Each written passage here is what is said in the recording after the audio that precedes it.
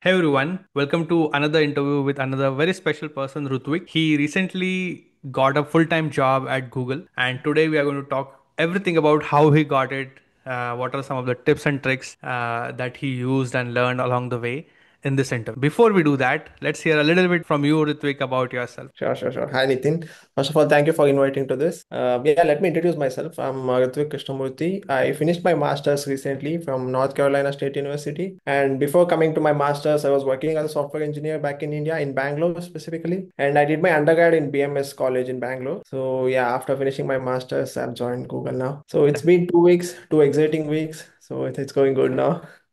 Yeah, That's that's very awesome. I think Google is definitely a dream company for everybody. yeah, Uh, I could say that. Uh, so co huge congratulations to you. Thank you. Uh, Thank you it's a big deal. Uh, and I think that's what we want to learn from you in this interview. You know, Right. uh, a lot of the people who are watching, they Mhm. themselves are dreaming about getting into FANG or at least Right. something in FANG. So Right. this is a special conversation. So you said you did your master's from NCSU, right? Yes. Yes. Yes. Uh, now that's on the East Coast. Google is all the way on the West Coast. Yeah, yeah. I think there's a, uh time difference that you might be facing right now with uh, three hour difference. True, true, true. I also did my internship here at Zscaler. Okay, So, Zscaler, I mean. I manifested when I came here last summer. So that kind of worked, I guess. Nice, nice, Yeah. nice. So uh, I know you you mentioned before offline when we were talking that you also got a job with Amazon, Yes, right? So that Yeah. makes it two FANG companies. Uh, Right. so this Yeah. is this is going to be a good conversation. Right, right. In fact, Uh, I joined Amazon. So I worked there for one month. And when I joined Amazon, within a week, I got to know that I cleared Google interview. I mean, just before joining uh, Amazon, uh, in the last week, I mean, before joining Amazon, I gave my Google interview. So nice. usually they take two to three months to process everything. So I couldn't risk it. So I had to join Yeah, Amazon. yeah, yeah. So that was the thing. So once I got Google and the team, I, I also like the team as well. Nice. And that was in Sunnyvale. So I also like the location here. So Yeah. everything worked out. So I finally moved here. That is nice. That is nice. So let's, I think that's a good uh,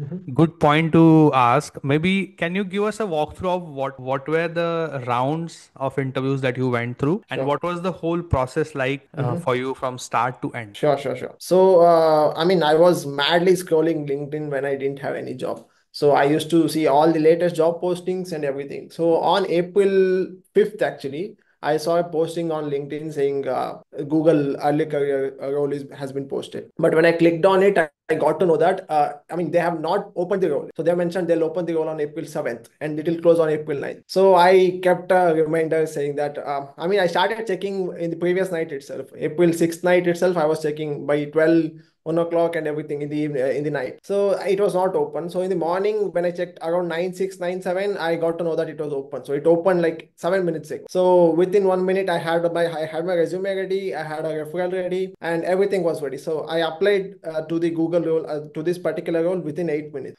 So Mm, I think maybe that might have also helped in. Uh, I mean, I don't know, but yeah, it might have also helped. So nice. that that is one thing, and uh, other things are, are like similar. I had a one round sc- uh, screening, and after clearing screening, I got to know uh, after a week uh, saying that I cleared the screening. And then, I mean, it's a very big process. They took around two months, but yeah, after that, I had a virtual on-site, which was four rounds. And in in that, one interviewer didn't join, so I had to reschedule that. So again, uh, one week got postponed. So th- th- that was it. That's it. Got it. Got it. So in the screening round, the screening round, was it like a LeetCode uh, type of Yeah, yeah, it was LeetCode round, but I've heard from few other people they also had online assessment. So I don't know how it works, but uh, a few people got uh, screening round directly, and few people had to get assessment and then uh, Then uh, then the screening round. yeah. So uh, it depends, I guess. And since I had two uh, years of experience, that might have helped me skip the uh, assessment, maybe. Yeah, yeah, yeah. Yeah. So in the so how many questions you had to solve? Was it like a two questions or one question? I mean, in all the rounds, uh, basically it was only one question, but with a harder follow-up. Mm-hmm. uh, we can't consider that as two question, but uh, the initial question will be a little bit easy or medium, uh, but follow-up will be definitely medium to hard. Hmm. Got it. Got it. Got it. And interviewers will be helpful. Like if you ask, like if you direct the interview such that they can give some hints, and if you use that hints correctly, you, you'll be able to answer. You'll be able to answer. Yeah, Yeah. So obviously this LeetCode Mhm. takes some practice. So had. Had you done like what was your prep like with LeetCode over the period of like let's say two years? Because I know you got Yeah, got internship as well, so you right. probably had prepared LeetCode. So what was your strategy? Yeah, uh, so I would say I was, I mean, I might be lucky because I used to have interviews always. So I used to interview with some company at some other time. I mean, uh, for the internship, I started interviewing in January itself. And Mm, by the time, uh, by March, I had a internship. mm, So I was constantly interviewing, and that helped me like uh, get motivated and prepare for it. But even without that, it's better to be prepared. And uh, may, I know many people will start preparing LeetCode when they get an interview. So usually companies won't. I mean, few of the companies will wait because uh, they will hire for generic role like Google. They, it won't be team specific, but uh, in cer- certain other companies, it will be team specific. So if mm. you postpone the interview too much, you might miss out the chances. Yeah. So it's better to be prepared. And I would say, uh, as far as LeetCode is uh, is a concern, so uh, it's better to be prepared for LeetCode 150. So that's the bare minimum you need to be prepared for. Mm, Because that will cover all the basic concepts, and with certain hints, even you can solve all the hard uh, questions if you if you're well versed with the LeetCode 150. Mm, That's what I would say. And if you're prepared with NeetCode 150, when you get an interview, uh, it will be easier to prepare for, uh, it, it'll be easier to research about the company. And also, uh, you can do uh, company tagged questions in LeetCode. yeah. Uh, especially at Google, uh, I mean, they don't ask question directly from LeetCode. So I had to go to, I mean, last two months uh, in LeetCode discuss, they used to, many people used to share their experiences, like Google experiences. Mm-hmm. I used to solve those questions. So since I I solved NeetCode 150 before, because I, I've interviewed interviewed with 10 other companies before Google. So Mm-hmm. all, all of those rejects kind of helped me to get into this because. I was constantly preparing for other interviews. Yeah, yeah. I think that's a that's a good good advice of continuously interviewing because yeah, you're you have that rhythm of yeah, interviewing and whatever right, you miss in one obviously round, you yeah, would prepare that and next you would not make the same mistake. So right, that right. definitely helps and keeps you, you know, uh, uh, thank you. I think that I think the uh, for everybody who is watching, what I will do is I'll put the link to the NeetCode 150 yeah, uh, or the LeetCode 150 in the description so that you- all you can have access to it. I know there's another one which is uh, NeetCode 250 or around 300 yeah, also there. So generally that much is enough to start with at least, you know. Uh, and if you do those seriously, you would uh, generally be okay, right? Right. Yeah, and Uh, when you start LeetCoding, it's uh, I mean, I've used Striver as well, Take You Forward. Even that has helped me a lot because he explains that in a very specific way. He'll take 30 to 40 minutes to explain a problem. So if you mm, understand that properly, you, you'll be able to solve 10 similar problems easily. yeah So that also helped me. So I think these two are the major resource for LeetCode. And nice. uh, I mean, Google didn't have system design, but hmm nowadays many other companies are asking uh, system design even for entry level uh, roles. Yeah. So it's better to be prepared for that as well. So uh, I would say hello interview for high, high level design will be very helpful, especially for Meta SD2 and all. I interviewed for that as well. Uh, Mm-hmm. so this system design really helped me a lot for them. Got it. Yeah. Got. Got it. So you said the first round was screening, and then the other Yeah. one was virtual uh, on-site. So in the virtual on-site, you had four rounds. Yes. So in those four rounds, would Mhm.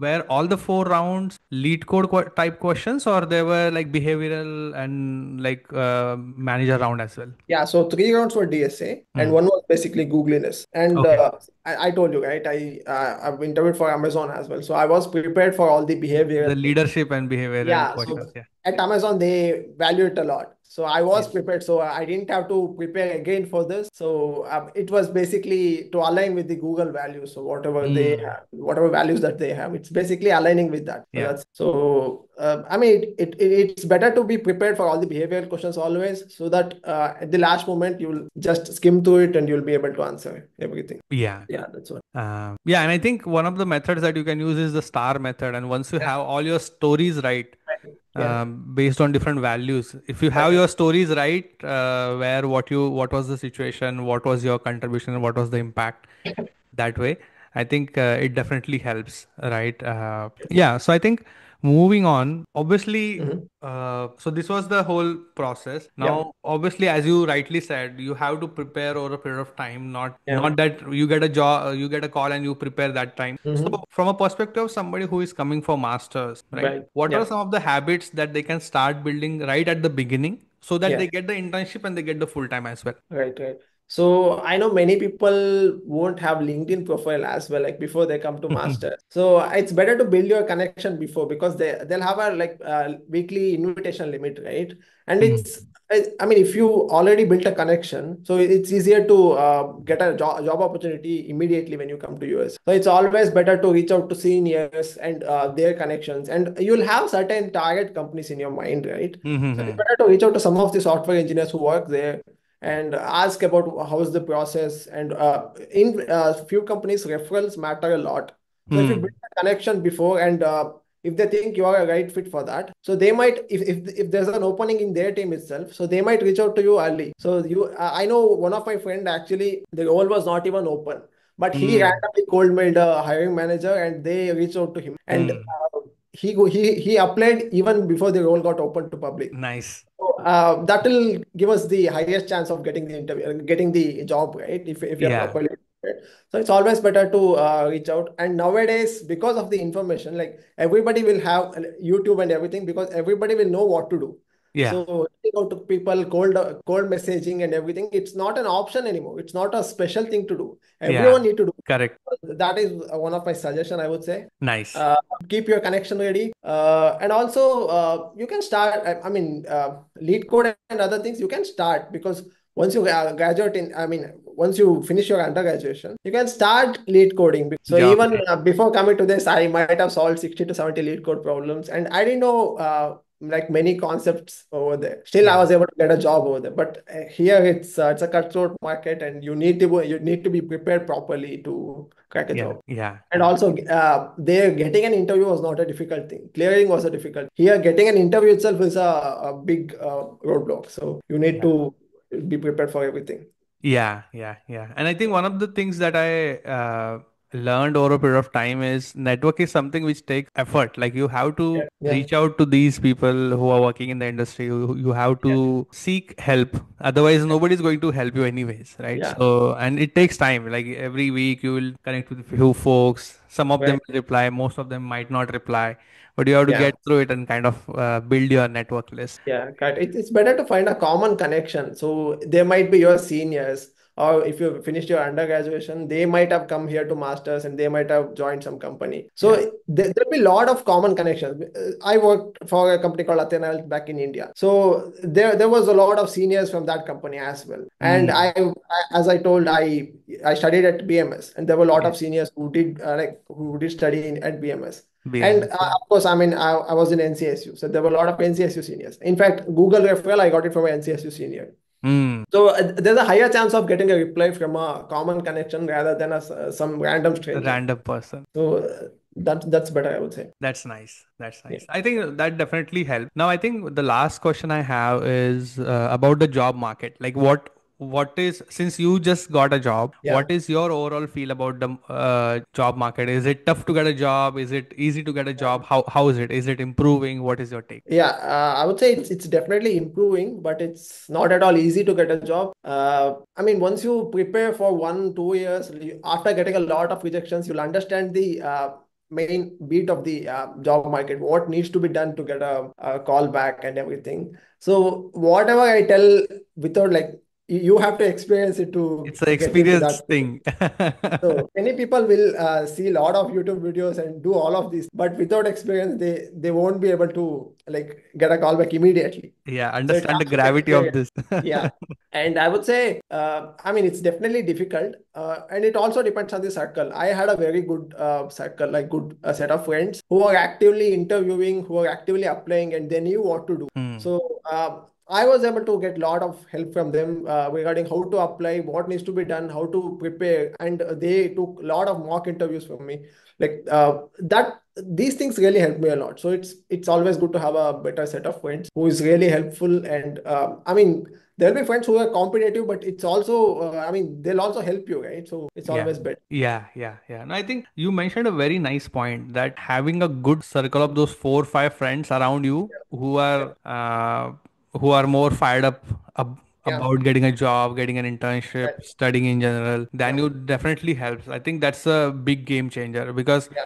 if the friends around you are just having fun and they're saying, okay, we have time, we'll figure it out, then probably you will be just like that. you Yeah, know, that's so- what happened happened with me as well. So I mean, during the internship time, uh, during December, I was like having fun and everything. And one of my friend, uh, really like he used to come to us every day, and he used to tell me, "Start LeetCode, start LeetCode. It's a, it's a difficult market. You need to start now." Whatever. Yeah. So me and my roommate started LeetCode during that time, and uh, we were able to like uh, pick the pace when the uh, interview we started getting interviews. yeah, yeah. So having a good set of friends really helps. Yeah. No, I I know you're from NCSU. Yeah. So in NCSU, you probably have on the east side, you probably Mhm. have uh, either you go to New York, uh, a little bit in the Midwest, Chicago, Boston Yeah. area, or you find a job in the Research Triangle, which is around the NCSU area, Yeah. right? So what's the pattern you're seeing there? Like, are you, are people move generally moving to West Coast because there are more jobs in West Coast, or how, how are they getting? What's the pattern you're seeing there? Yeah, many people got a job in Research Triangle Park as well. Uh,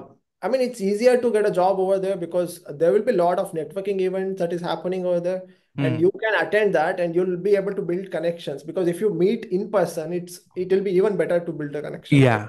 Yeah. So many of my friends got a job in RTPS. So Got it depends, but uh, yeah, there are certain companies uh, who will have a very generic interview process. So you'll have to go through, uh, you'll have to apply at a certain time, and you have to do certain things to get into it. But uh, networking at see, these companies will uh, really help. Uh, I mean, at RTP companies, uh, they won't have a generic interview process. So it depends on the person. If, I mean, if their team is hiring, they'll open a role. Yeah. And if you reach out to them early, uh, you'll get a job. Yeah, yeah, that's nice. That's nice. I think, well, that completes our conversation for today, uh, Hruthvik. Thank you so much for taking out time. Yeah. For everybody who is watching, definitely share your favorite takeaway in the comment section below. Do like, share, and subscribe to our channel, and I'll see you in the next video. Thank you, man. I you. hope this helps to everyone. Yeah. For sure, it will help.